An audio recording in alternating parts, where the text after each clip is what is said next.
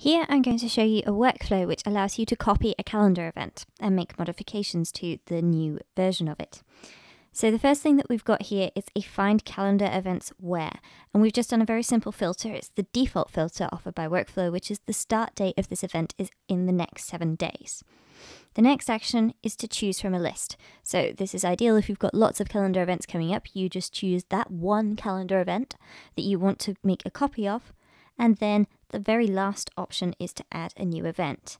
Now, as you can probably see here, for nearly every single one of these items, I have two variables or variable type actions in this workflow. So the very uh, first line for the title, we've got the chosen item title and ask when run. So what I've done here is these are magic variables. So the magic variable is essentially I'm saying, right, I don't want to actually explicitly say the calendar event that I have chosen is my chosen event because it's implicitly there. It's created automatically by workflow and allows me to grab it. So what I'm doing is if I click on reveal action, you can see it's highlighting the choose from list uh, action in my workflow. So I've just done, and I'm going to show you here at the bottom exactly what I've done. So you can see chosen item if I've tapped in a field, a text field, chosen item is a suggested variable because that's the last variable that Workflow created for me. Now, if I just do that, it then offers me some options. By default, the title is selected, but I could have the start date, the end date is all day. So if it's an all day event, uh, that would be an, an option. Uh, the calendar, the location, the alarms, duration, all sorts of things. So I've used this information from the existing calendar event to fill in the title, the location, the calendar, the start date, the end date, and the notes. Now, what I have done is the calendar. I'm assuming that if you have something on one calendar, when you copy it, you're going to want to put it on the same calendar again. If that's not the case, then you will need to do an ask when run because workflow will only let you select specific calendars. Um, but if you do the when run, then it will ask you in a drop down. So I'm going to run the workflow and show you how it works. So the very first thing is I've only got one event in the next seven days. I have a cake testing festival at 9 a.m. tomorrow. Well, that's brilliant because the cake testing festival is actually going to happen again same time next year. Brilliant. Love cakes. So what I've got here is, as you can see, the title and everything is filled in. So I'm just going to add 2019 here. So I know that that's the 2019 version of the Cake Testing Festival.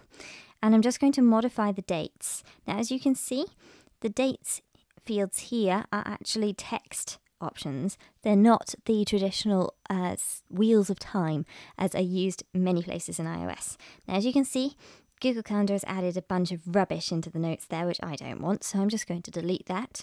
And I've got all the information here, and if I just press done, then you can see I've got a nice calendar event, Cake Testing Festival 2019 in my calendar. Now, this is all very well, but if you're like me, it's quite often you have an appointment, and when you're at that appointment or you're leaving that appointment, somebody says, So, shall we arrange the next one then? This happens a lot in meetings at work, for example. So what you can do here is you can say the start date is today and just filter for events that are happening today. So as you can see today I went shopping for the Batmobile. Now in this case where I went shopping for the Batmobile they would like me to come in and do a test drive. Wonderful. Everybody wants a Batmobile. So now I just need to change the title here. Test drive the Batmobile and I'm going to be doing that oh let's say I'll do that at the end of next month. So let's just pop that in make those changes and tap done. And as you can see, 30th of July 2018 has test drive the Batmobile.